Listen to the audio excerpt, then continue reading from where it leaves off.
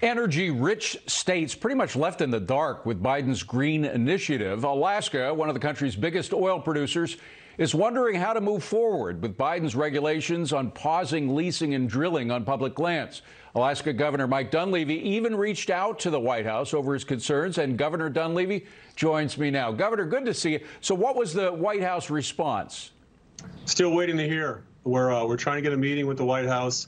Um, haven't been able to talk with the president yet. We want to be able to sit down with them, have a discussion about Alaska, Alaska's role in America's energy independence, and what we have to offer. And, and just as importantly for, for, for Washington, um, what we don't do up here in Alaska, we don't flare our gas. We put our gas back into the ground. Right. We probably produce uh, oil and gas better than any other place in the world with regard to our environmental regulations. So we'd love to have a discussion with them.